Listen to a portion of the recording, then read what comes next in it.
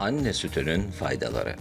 Doğumdan sonraki ilk 7 gün anneden salgılanan süte kolostrum denmektedir. Halk arasında ağız sütü olarak da tanımlanan bu süt az miktarda salgılanan sarımsı renkte ve koyu kıvamdadır.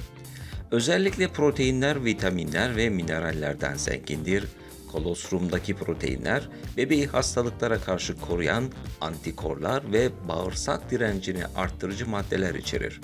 Doğumdan hemen sonra ilk besin olarak kolostrumun verilmesi bebekleri dış ortamdaki bakterilere karşı korur.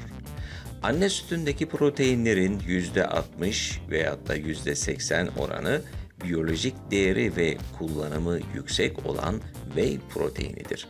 Anne sütü proteinlerinin vücut proteinlerine dönüşüm oranı ise %100'dür. Bu özelliğe sahip başka bir besinin olmaması anne sütünü eşsiz yapmaktadır. Anne sütündeki elzem yağ asitleri miktarı inek sütündekinden 5 kat daha fazladır. EPA ve DHA içerir. N6 ve N3 oranı dengelidir. Anne sütünde 20'den fazla enzim bulunmaktadır. İnek sütündeki demirin %5'i veya %10'u emilirken anne sütünde bu oran %50 ve 60 değerinde olup demirin biyo yararlılığı da yüksektir. Bebeğin henüz tam olarak gelişmemiş sindirim sistemine en uygun hazmı kolay olan bir besindir.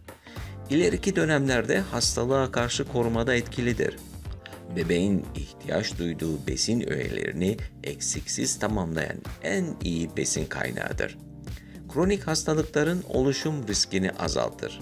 Mesela obezite, tip 2 diyabet gibi. Bebekte alerjik özellik göstermez ve alerjilere karşı korur. Bebeğin ruhsal, bedensel ve zeka gelişimine de yardımcı olur.